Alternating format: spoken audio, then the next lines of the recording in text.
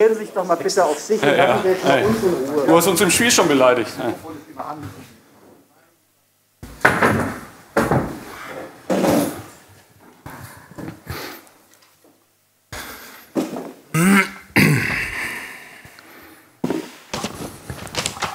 So, liebe Medien, liebe Zuschauer auf FCK TV, ich darf Sie ganz gern ganz herzlich begrüßen zur Pressekonferenz nach unserem Heimspiel gegen FC Bayern München 2. Ich begrüße auf dem Podium die beiden Trainer, Holger Seitz vom FC Bayern München und FCK-Cheftrainer Marco Anwerben. Das erste Wort gebührt den Gästen. Herr Seitz, Ihr Fazit zum Spiel, bitte. Ja, vielen Dank erstmal. Ich glaube, dass wir heute wirklich ein sehr intensives Fußballspiel gesehen haben. Von der, von der ersten Sekunde an war viel Leidenschaft mit dem Spiel. Ich glaube, dass beide Mannschaften alles versucht haben, hier das Spiel zu gewinnen. Durch die gelb-rote Karte in der zweiten Halbzeit ist es für uns dann natürlich komplizierter geworden. Das haben wir auch gewusst, dass da einiges an Wucht ähm, gerade auswärts hier auf dem Betzenberg auf uns zukommen wird.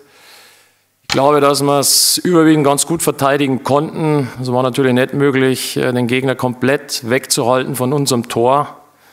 Die Idee war dann schon, dass wir auf Konter spielen, dass wir über den Dimi vorne drin als zentrale Spitze dann den einen oder anderen Nadelstich ersetzen können. Das ist einmal aufgegangen. Ansonsten, glaube ich, konnte man in Unterzahl insbesondere keine torgefährlichen Situationen mehr herstellen.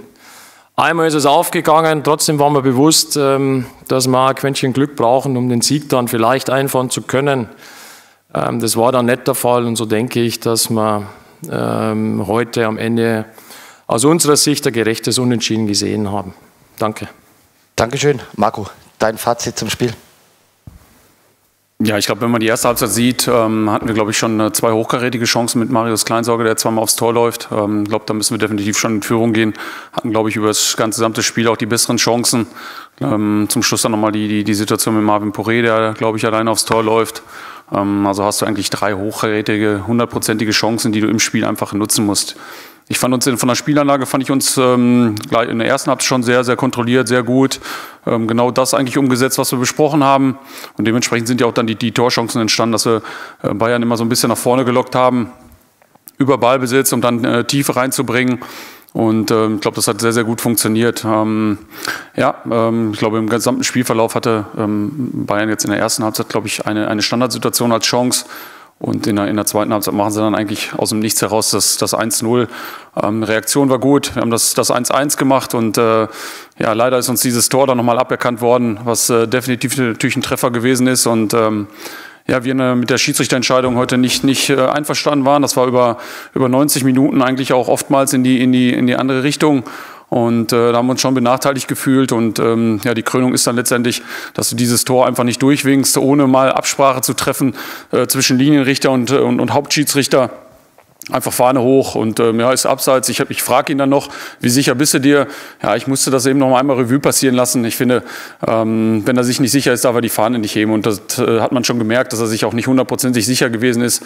Hebt einfach die Fahne. Für uns ist es ganz, ganz bitter. Und wie gesagt, äh, da sind wir auch nicht enttäuscht drüber, sondern einfach nur sauer.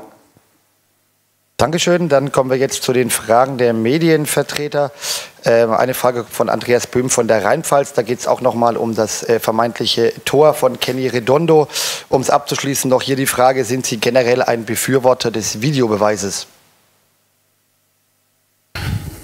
Ja, gestern haben wir Videobeweis gesehen, glaube ich, oder zweimal hintereinander jetzt äh, Holstein Kiel gegen, gegen Würzburg. Ähm, da gibt es einen Videobeweis, der wird nicht gezogen. Ähm, wenn man das macht, muss man es vernünftig machen. In der dritten Liga haben wir nicht. Ähm, da müssen die Schiedsrichter halt einen guten Job machen. Das haben sie heute nicht gemacht. Dann nochmal Andreas Böhm von der Rheinpfalz. Äh, Herr Werben, wo setzen Sie heute mit der Kritik an? Primär bei der Chancenauswertung? Ja, das ist, glaube ich, äh, der Schlüssel heute. Wir hatten, wir hatten die Chancen, die wir, die wir haben, die müssen wir einfach reinmachen. Ähm, aber nichtsdestotrotz haben wir dieses Spiel eigentlich trotzdem gewonnen und, und machen ja den zweiten Treffer. Ähm, von daher äh, müssen wir aber schon sagen, äh, die Chancen, die wir halt haben mit den, mit den, ähm, mit den Läufen, dreimal alleine aufs Tor, da muss schon einer von rein. Und Andi Böhm zum Dritten mit der Frage, wo lag der Hauptfehler vor dem 0 zu 1? Ähm, Situation habe ich jetzt ähm, oder müsste ich mir jetzt nochmal genau anschauen. Ähm, von der Analyse her kann ich das jetzt äh, gerade nicht sagen, wo wir dann den Fehler gemacht haben. Und dann noch eine Frage von Thomas Rhein von der Allgemeinen Zeitung. Ähm, wieso gab es Gelb? Was war da auf der Trainerbank los?